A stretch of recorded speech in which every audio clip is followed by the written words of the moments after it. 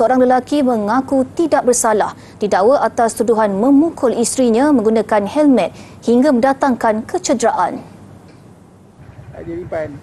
Muhammad Asmirul Abdullah 27 tahun dituduh dengan sengaja menyebabkan kecederaan kepada isterinya Nur Adilah Muhammad Fadli 27 tahun dengan cara memukul telinga dan bahu kiri mangsa menggunakan helmet. Kesalahan itu dilakukan di tepi jalan berdekatan Kampung Maluk Kuala Sungai Baru 9 November lalu. Pertuduhan dilakukan mengikut Seksyen 324 Kanun Kesesaan dan dibacakan bersama Seksyen 326A Kanun sama yang memperuntukkan hukuman penjara 20 tahun, denda dan sebatan. Hakim Nariman Badruddin membenarkan ikat jamin sebanyak RM3,500 dengan seorang penjamin bercagar serta menetapkan kes disebut semula pada 18 Disember depan untuk serahan dokumen.